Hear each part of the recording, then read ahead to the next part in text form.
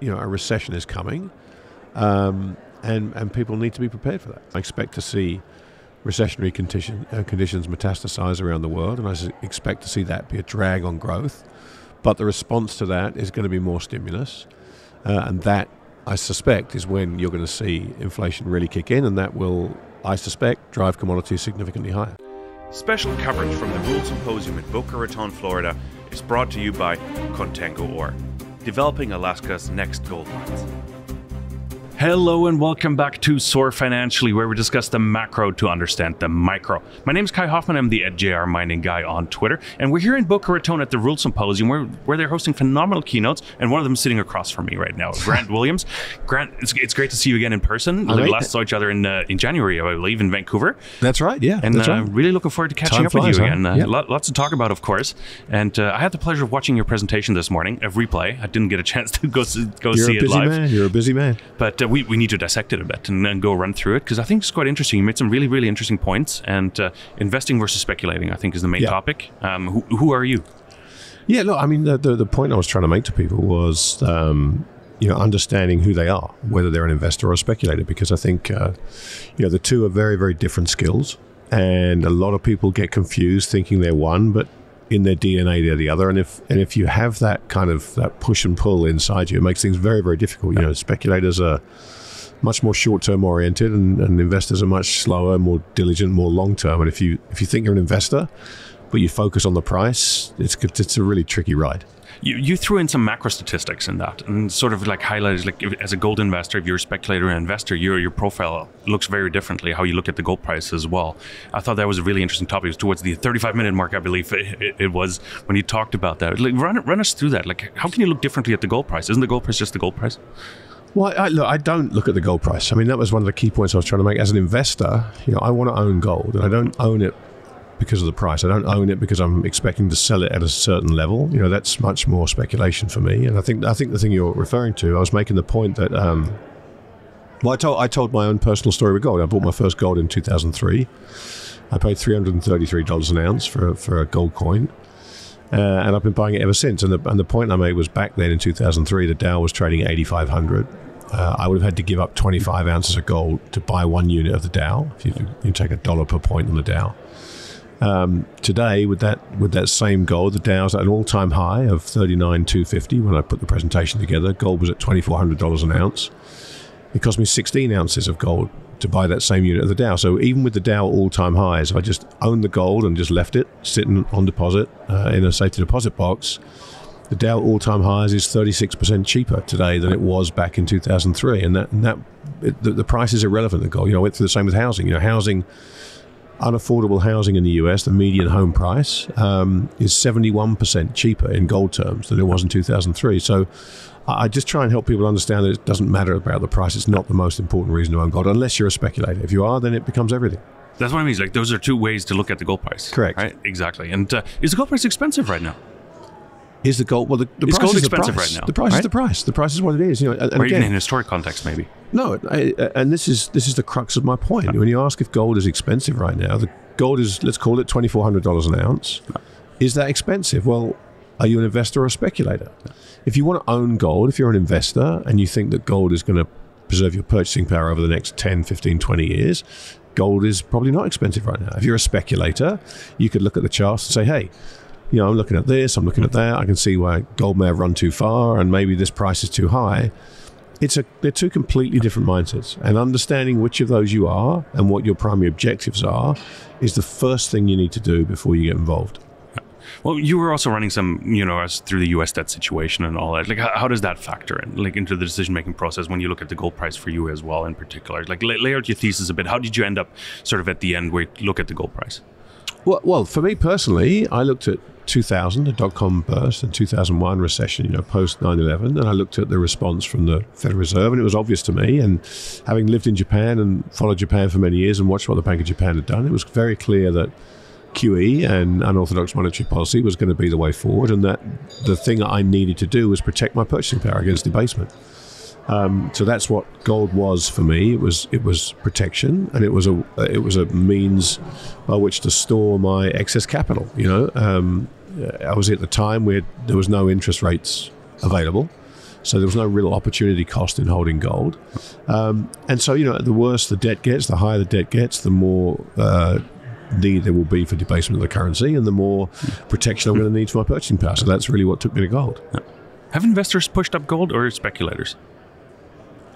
Uh, well, look, I don't, I don't think investors push up gold. The thing that I think is not necessarily pushing gold up, but the thing that's putting a floor under it, which makes it very interesting, is central banks. Central banks are um, have become voracious buyers of gold in the last uh, two, three years. So uh, really, since the Russian uh, assets were confiscated by the Treasury.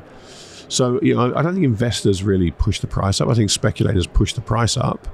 Um, investors really aren't as price sensitive as speculators. They don't follow the price on the chart quite as much. I, I was throwing uh, like central banks into the investor category because they've been constantly buying, but they're, they're not buying for a trade. Like they're not buying gold at sixteen hundred to sell at twenty three hundred. No, they're not. Right. They're not. So they're, they're protecting their purchasing power, as you said, like and, well, and maybe no, hedge against that. the It's US not dollar. Right? You know what they're doing. What they're doing right now um, is they're protecting themselves against the possibility, not probability, but possibility that they could be denied access to their reserves, as we've seen Russia be. You know, once once the Treasury froze those Russian central bank assets, that created a need for every central bank in the world to make sure that they couldn't have the same thing done to them, friend or foe. Right now, you know, you could be the the, the, the biggest friend of the United States right now, but you don't know what's going to happen 10 years down the track, five years down the track, one year down the track. You know, and you may be in disagreement with their policies, and they could do the same thing to you. And so that creates an imperative. It's not a decision, it's not a trade, it's not protecting purchasing power, it's protecting access to our sovereign reserves. You, laid out a couple theses for the possible road ahead. And I think we need to look at that as well. Like we are where we are right now. I don't think we need to, you know, dread on the history, like in how, how we got here. I think everybody knows that we talked about it plenty of times here on SOAR financially. But the the road ahead, like strong commodities bull market is like the first bullet item you you, you mentioned. What does that look like, and what, what's driving that? When you talk commodities, what, what's the number one commodity you think of? Well, I, I, I, I think the I think the setup for a commodities bull market is is about as good as it's been. Nobody owns them. Um, we have inflation now embedded in the system. We have central banks, as I say, needing to diversify out of dollar assets. So, you know, I can see a case for a weak dollar. I can see a case for uh, for strong commodities based on on multiple things, based on inflation, based on people trying to protect supply lines and protect um, and secure access to vital commodities in a world where globalization is becoming deglobalization and COVID's given us all a look at what happens when supply chains get disrupted and you can't get access to, to things. And we've seen now that central banks need to, to diversify out of US dollar bonds uh, in the form of treasury. So they're selling treasuries. What can you do with that cash? You know, gold is the perfect solution, but it's it's not doesn't make sense for them to put all their reserves into gold. But something like copper, for example, you know, we've seen in the 2000s the Chinese built up an enormous copper mountain because they knew they were going to have to use that copper for infrastructure, and it's for certain central banks is a great way of storing dollar reserves. So, um, yeah, look, I think the, the, the big caveat, as I said in the presentation, is lower growth around the world. You know, I expect to see recessionary condition, uh, conditions metastasize around the world, and I expect to see that be a drag on growth. But the response to that is going to be more stimulus, uh, and that I suspect is when you're going to see inflation really kick in, and that will, I suspect, drive commodities significantly higher. When you talk commodities, just to clarify, you mentioned gold and copper. Do you throw anything else into that basket? Look, it's, it's a commodities bull market is going to lift all boats, right? It's going to take commodities higher. Everyone needs to look at the individual commodities they want to get involved in. For me, I focus on precious metals. You know, I look at copper as a barometer for base metals and base commodities because I think it's the easiest one to look at. Some people specialize in tin and zinc and lithium and all these other things. It's totally fine. But for me, I'm more, more much more focused on precious metals and particularly gold. When, when you mention recessionary conditions, like depending on who you talk to and what data you look at, you can always find a, a data point that sort of fits the narrative. Of course, we might be in a recession already to a degree, depending on where you look. Right. Yeah. Uh, so, what do recessionary conditions look like for you, and how will it play out? How are we going to feel it, and how are we going to see it? Well, look, I mean, every recession in history started before it was called, right? That's just how it works. The NBER are the arbiter of recessions, and, and they will tell you, oh, the recession started back here. So, yeah, of course, we could always be in a recession. Um, you know, I, I think we have this weird situation where economic statistics look okay, but under, if you dig into any of them, you scratch below the surface in any of them, payrolls, growth, employment, anything, um, you will find signs that all is not well. And um, you know, I just I just have this feeling Uh, you know, Danielle DiMartino Booth was speaking here, and she she's convinced that we're already in a recession, and she could be absolutely right. But the one thing you know is a recession's coming. We don't know when it's going to be. This is you know this, the business cycle is exactly that. It's a cycle. So it it it, it, it troughs in recession. Um, uh, and one is coming our way. We haven't had one for a while. The last one was truncated, thanks to the kind of policies that we've talked about already. And I think it will. They will attempt to truncate the next one with the same policies. And I just, I don't think they're going to be as uh, efficacious as they were the first time around. Let's put it that way. I was going to say, what, what camp are you in? I know, uh, I think we can take no landing off the table, but are you more in a camp like soft landing, hard landing, and what? How do you define those two scenarios? I, I think the conditions and uh, and the setup is uh, just way too tricky for it to be a soft landing. I mean, you can never say never. It's never a zero percent chancing, right? There's there's there's not a zero percent chancing with no landing. I put that as fanciful, but you can you just can't say it will definitely not happen.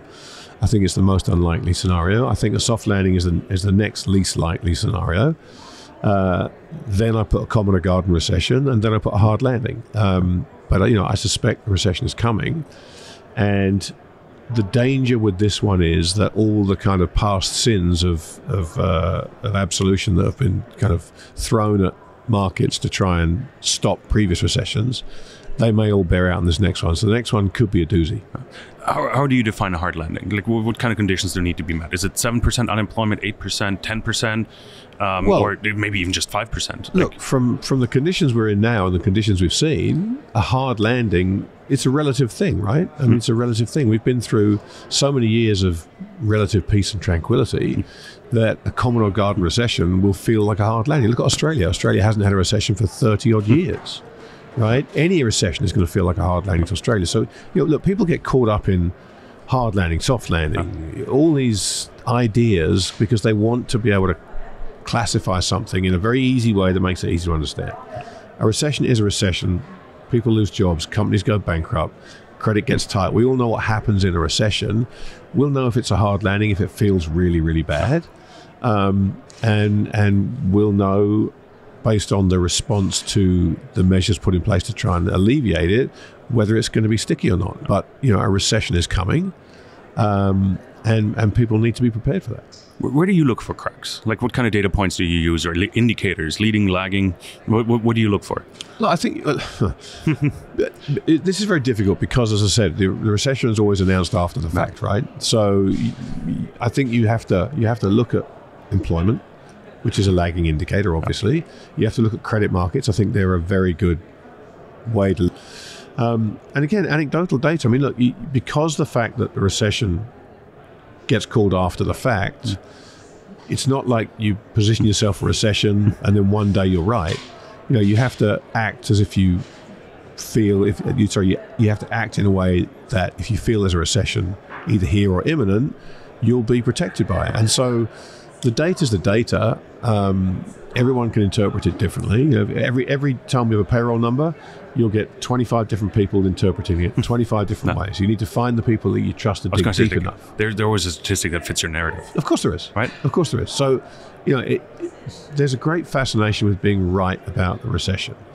Uh, the simple truth is, it's not about being right about the recession. It's about either making money or not losing money, depending on what your particular aim is through that happening. And if you're trying to protect money to protect your capital and you position yourself for recession too early, well guess what? You're not going to lose money, but you're not going to you may miss out on some gains. And for most people with that mindset, that's absolutely fine. Right? Getting off the train two stops before it smashes into the wall, there's no problem with that. Yeah. It- it- nobody ever got poor taking money off the table. No, gains that's off right. the table, right? That's so, right. taking profits, right? Correct. Gun to your head, Grant. Are we in a recession or not? What does Grant Williams think? Do I think we're in a recession? Oh, yeah. I, I, if we're not, we can see it from here. How's that? Okay, there you go. Political answer. There you go. Well, I I mean, how, Yeah.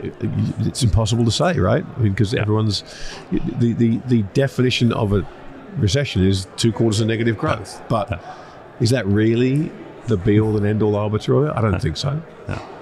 You're the right person to ask about the U.S. debt situation. I think. Like, is it going to implode, or do we just should not care about it? Now you're really trying to get me with all these buzzwords, aren't you? I know. Uh, like should we not care bingo. about it? No, we should absolutely care about it. And I think that's the problem. People don't care about it because the number's so big, right? And once the numbers become that big, people tend to kind of gloss over and go, "Oh, well, it's it's either too big a problem or, well, if it's got that big, it can't be a problem. We absolutely need to worry about the US debt situation. Absolutely. Uh, when do we need to worry about it? Now. When is it going to matter? Who knows? No. But it will. It will matter. Ultimately, it will matter. And if we look at, I had some of the data in my presentation yesterday. You know, that with with interest rates here, um, you know, there's a trillion dollars of debt service costs uh, that the US has to pay now with 150 basis points of rate cuts by next quarter, by the first quarter of 2025. That's 1.2 trillion. with no rate cuts, it's 1.7 trillion dollars in six months. That's a big, big problem. So yes, it matters. Um, does it matter today? To some people, yes.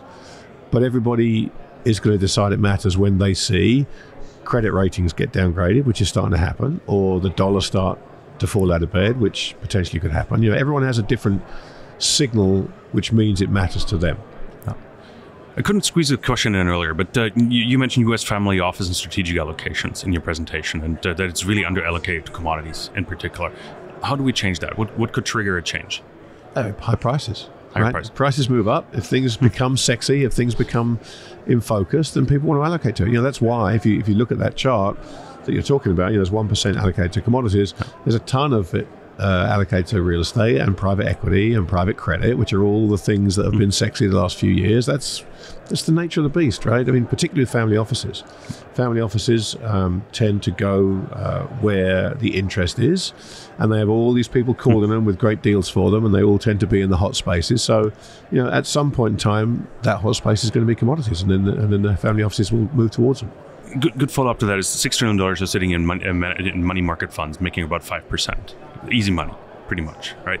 Um, once a Fed rate cut hits, maybe that return might diminish. Is that when we start reallocation to commodities? Is that what? Is that a possibility? Look, everything's a possibility, Kai. You know, I mean, uh, when that when that number falls from five percent, yeah, the question you have to ask, yeah, the question you have to ask yourself is why? why has it fallen? If it's fallen because everything's fallen off a cliff and the Fed are cutting rates because going into recession, people might be happy with four percent, you know, rather than take the risk. So, yeah, everybody wants a clear cut yes or no answer to every question, and they don't exist. And anyone that wants to give you one is disingenuous because they don't point, yeah. exist, right? So you can answer yes or no to every single question. Everybody, it's incumbent upon all of us to think for ourselves and work out, okay, if that happens, am I happy with this? There, there are no simple answers. There are no formulas that you can follow that mean it's going to be okay. And if we do go into recession, given the nature of the beast that we're facing, you better have a good plan for what you need to do to protect your own assets. What is your plan? What is my plan? Yeah, because we can't give a general financial advice, so we got to talk about you personally. Uh, well, well, my, my, no, my like, plan's how are you allocating I- for the next six months, maybe? I, I've, I've been buying gold for 23 years and it's performed incredibly well for me, right? And I've been accumulating it. I've never sold an ounce of gold. Um, I've been in and out of shares. I've been in and out of bonds. I've got some private loans and stuff, but everything I have is something that I know inside out and I'm happy with the credit and I'm happy with the risk. And I sleep very, very well at night. And I, and I don't take flyers on things like Nvidia and Tesla because everyone else is doing it. You know, I'm a very idiosyncratic investor and I'm, and I'm very, very happy that way. Fantastic. Grant, uh, we, we're out of time, sadly, and uh, I'm so appreciative that you took the time to just sit down with us here at the You're Rule welcome. Symposium. Thank you so much. It was always a pleasure.